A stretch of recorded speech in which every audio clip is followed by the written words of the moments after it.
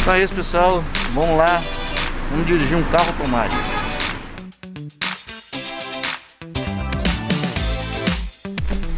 Vamos lá, botei o cinto aqui. Se eu não botar o cinto, não aparece ali na frente, ó. Tem um indicador de cintura aí, ó, viu? Aparece aqui o símbolo do, do motorista sem cinto. Aí, sabe o que é isso aqui? Teto solar, cara. Teto solar, o carro tem teto solar, cara. É, ele aqui, ó o dono. Se quiser virar, você pode virar pra cá. Não, mentira, o carro é alugado. Mas nem parece que tá funcionando, tem barulho. Vou dar uma acelerada pra ver se o carro tá vivo, né? Quanta gira, ah, subiu, quanta gira, mil, tá no ponto morto. Então vamos lá, pessoal. Então, minha barriguinha tá até aparecendo agora, eu tenho que colher aqui. Piso no freio, tá no neutro. Vou puxar a alavanca e vou botar em drive para ele poder sair. Assim que eu soltar o freio, ele vai começar a andar. Então, é exatamente isso. Peraí, só um momentinho. Eu não sei nem onde dá seta nesse carro, cara. Pelo amor de Deus, é aqui mesmo. Ah, não pode muito do padrão, não. Parece uma aeronave, né? A gente vai soltando aqui o pé da embreagem, o pé do freio. Olha, de quem dirige carro manual, carro manual né?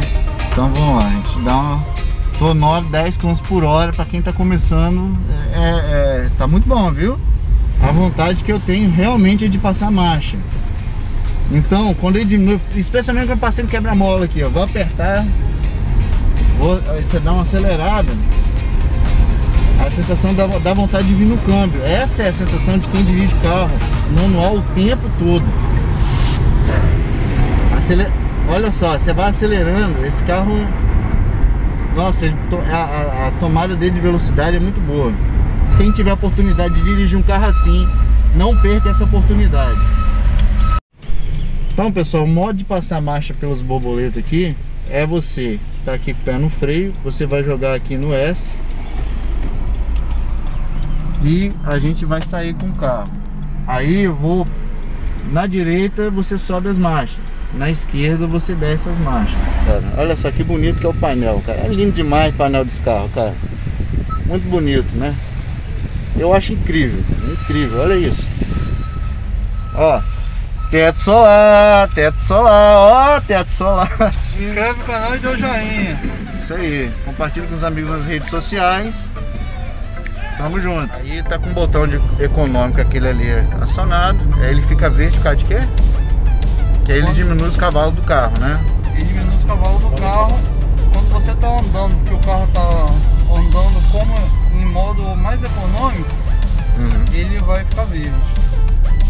Quando você está parando o carro ou com o carro parado, a coloração muda para azul, porque ele precisa ter força total liberada para o carro sair.